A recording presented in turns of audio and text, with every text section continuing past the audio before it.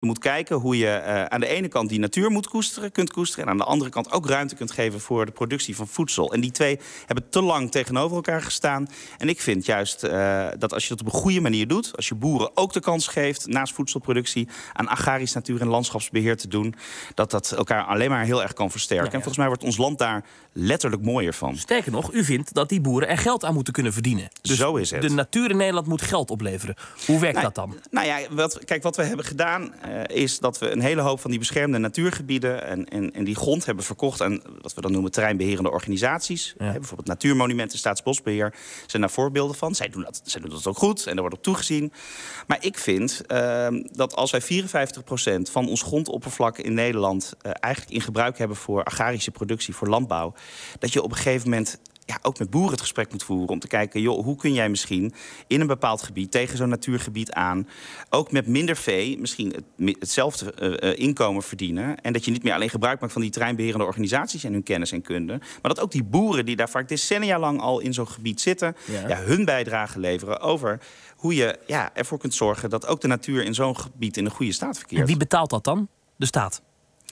Ja, dus dat, dat vraagt, en dat gebeurt nu natuurlijk ook al. Hè, dus provincies zijn verantwoordelijk voor het natuurbeheer. Daar betalen zij terreinbeherende organisaties uh, geld voor. Ja. Uh, en ik vind dat je dat niet alleen met hen uh, voor moet gaan zitten, maar dat je daar ook boeren bij moet betrekken. Dat gebeurt overigens al in, in ons land. Die terreinbeherende organisaties werken zelf ook vaak samen met boeren. Dat zijn mooie pachtcontracten. Ik vind dat we dat verder zouden moeten uitrollen. Dus, dus uw idee is dan, een boerenbedrijf niet helemaal uw idee hoor, maar u staat erachter dat ehm, een veehouder bijvoorbeeld, die moet dan misschien minder koeien houden. Dan verdient hij daar wat minder aan, maar dat kan hij dan opvullen doordat hij natuur beheert in de, in de omgeving. Ja, er is een voorbeeld in Twente um, waar een aantal melkveehouders met elkaar heeft gezegd: we slaan de handen ineen en we gaan samen zo'n terreinbeherende organisatie vormen. Wij zijn dat. Ja. En die boeren die zijn gezamenlijk aan agrarisch natuur- en landschapsbeheer gaan doen. En die zagen dat het ook uitkomt met minder koeien. We noemen dat extensiveren. Ja. En, en ik denk dat met name in die kwetsbare gebieden... tegen die beschermde natuurgebieden aan... dat heel goed zou kunnen. Er zijn ook heel veel gebieden in Nederland... waar je gewoon, wat we noemen, gangbaar kunt blijven boeren. En waar die beperkingen er niet, uh, niet zitten. Maar als je echt tegen die uh, stikstofgevoelige beschermde natuurgebieden uh, zit... met name op de hoge zandgronden... Ja. Ja, dan denk ik dat dat een hele mooie samenwerking kan opleveren wat ons uit, uit, uit het stikstofslot ook Ja, kan trekken. Toch is hier, mede hierop, het landbouwakkoord geklapt. Hè? Dat is het toekomstperspectief voor de boeren. Maar het verdienvermogen van die boeren, wat houden ze uiteindelijk over onder de streep op hun bankrekening?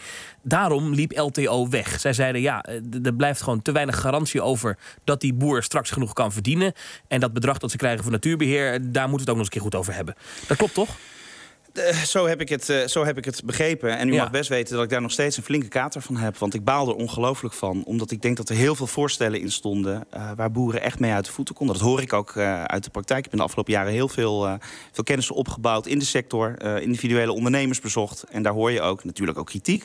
Maar ook echt wel dat er best wel hele goede voorstellen in stonden. Ja, maar een van de dingen die daarin stond, eh, die op last minute op tafel kwam, was een heffing. Oftewel, eh, die rekening voor die boer, dat die kon blijven leven, die moest betaald worden door de consument. Een heffing op melk, op vlees. Dus producten in de supermarkt die zouden dan duurder worden. Maar dat geld zou dan naar die boer gaan. En die boer kon daar dan weer van leven. En die kon daarvan dan ook natuurbeheer doen.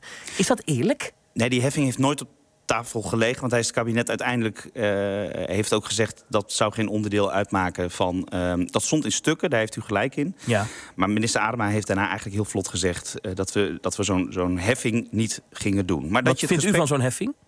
Ik, ik, ben tegen een, um, een platte heffing op uh, zuivel of vlees omdat ik denk dat je daarmee eigenlijk bepaalde schade die je wilt voorkomen... van de productie daarvan, eigenlijk alleen maar afkoopt. Terwijl ik vind dat de, de, de noodzaak tot de verdere verduurzaming